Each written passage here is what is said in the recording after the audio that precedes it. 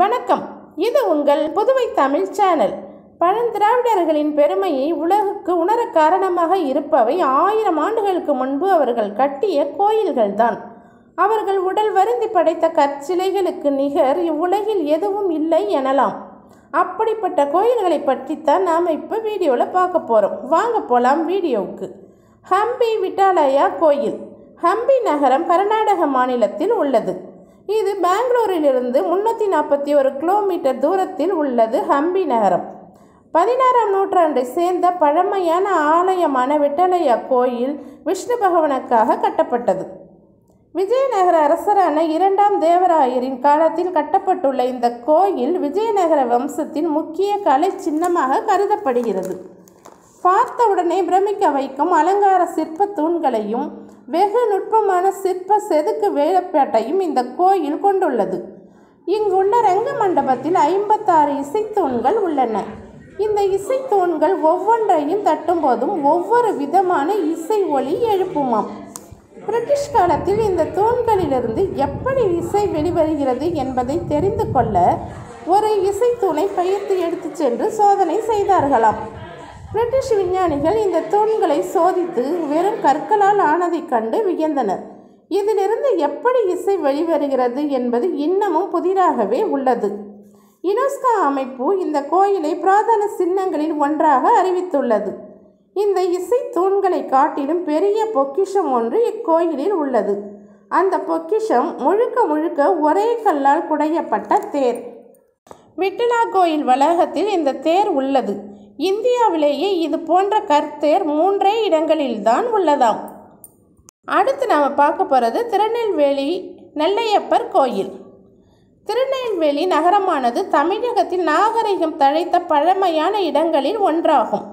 தமிழகத்தில் இருக்கும் மிக பழமையான சிவாலயங்களில் ஒன்றுதான் திருநெல்வேலி நகரின் மையத்தில் இருக்கும் நெல்லையப்பர் கோயில்.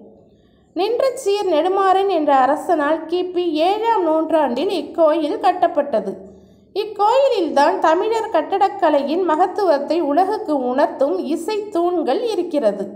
மணிமண்டபத்தில் அமைக்கப்பட்டுள்ள இந்த தூண்களை தட்டினால் ஒவ்வொரு தூணும் பிரத்யேகமான இசையை எழுப்புகிறதாம். இன்று வரை இது எப்படி சாத்தியம் என்பதை எவராலும் கண்டறிய முடியவில்லை. அடுத்து நாம் பார்க்க போகிறது கர்நாடகா விருப்பாட்சர் கோயில். கர்நாடக மாநிலத்தின் பெல்லாரி மாவட்டத்தில் ஹம்பி என்னுமிடத்தில்தான் உள்ளது இந்த பிரம்மாண்டமான விருப்பாட்சர் கோயில். விருப்பாட்சருக்கு அர்ப்பணிக்கப்பட்ட இக்கோயில் ஏழாம் நூற்றாண்டில் கட்டப்பட்டது. ஆனால் கற்பகிரகத்தில் உள்ள சிவன் சிலையோ பதினான்காம் நூற்றாண்டை சேர்ந்ததாம். அதனால் இந்த கோயில் கட்டி எழுப்பிய பிறகு ஆண்ட மன்னர்கள் கோயிலை இன்னும் பிரம் பிரம்மாண்டப்படுத்தியதாக அறியப்படுகிறது. இக்கோயிலின் மத்திய பகுதியில் அமைந்துள்ள கோபுர ரங்க மண்டபம் நூற்றி அறுபது அடி உயரத்தை கொண்டது. இந்த கோபுர ரங்க மண்டபத்தின் நிழல் ஒரு அறையில் தலைகீழாக தெரிகிறதாம். இதுதான் இந்த கோயிலின் உச்சக்கட்ட சிறப்பு. இதற்கான அறிவியல் ஆராய்ச்சிகள் பல காலமாக நடத்தப்பட்டு ஒரு விளக்கம் கொடுக்கப்பட்டது. அது கோவிலின் கோபுரத்திற்கும் நிழல் விழும் அறைக்கும் இடையே ஒரு துவாரம் இருப்பதால் அந்த துவாரம் வழியாக வரும் பிம்பம் தலைகீழாக பிரதிபலிப்பை தருகிறது. இப்படி ஒரு விளக்கம் சில அறிஞர்களால் கொடுக்கப்பட்டாலும் அந்த துவாரம் கோபுரத்தின் பிம்பம் செல்லும் வழியில் இல்லை என்று வேறு சில அறிஞர்களால் சொல்லப்படுகிறது. கோபுரத்தின் நிழலானது தலைகீழாக விழுவதற்கான காரணம் என்ன என்பது விடை தெரியாத மர்மமாகவே உள்ளது. நன்றி. வீடியோ உங்களுக்கு பிடிச்சிருக்குன்னு நம்புகிறேன் வேறு ஒரு விஷயத்தோட அடுத்த வீடியோவில் உங்களை சந்திக்கிறேன். நன்றி.